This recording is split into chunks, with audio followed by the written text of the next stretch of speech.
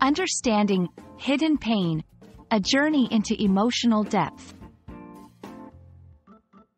Hello everyone, and welcome to today's English language learning video.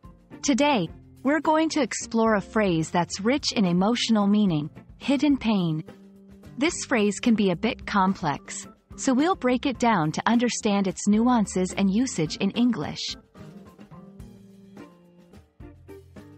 Hidden pain refers to emotional suffering or distress that is not openly expressed or visible to others.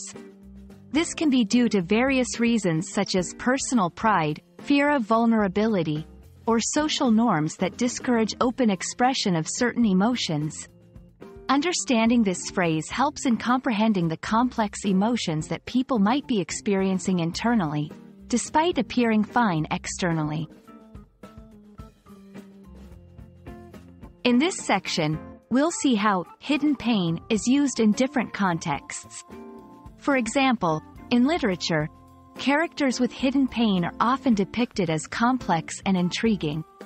In everyday conversation, when someone says, she carries a lot of hidden pain, it implies a deeper, and spoken backstory of that individual's emotional state. It's interesting to note how hidden pain can be conveyed in English.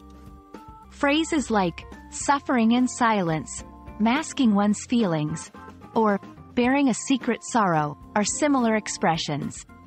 These phrases capture the essence of enduring emotional pain privately, without revealing it to the world. Acknowledging hidden pain in others is crucial for empathy and understanding.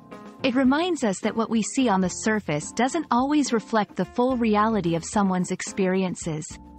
Recognizing hidden pain can lead to deeper connections and more meaningful interactions. Thank you for joining me in this exploration of hidden pain. I hope this video has helped illuminate this poignant and profound aspect of human emotional experience. Remember, Language is not just about words. It's about the worlds they reveal.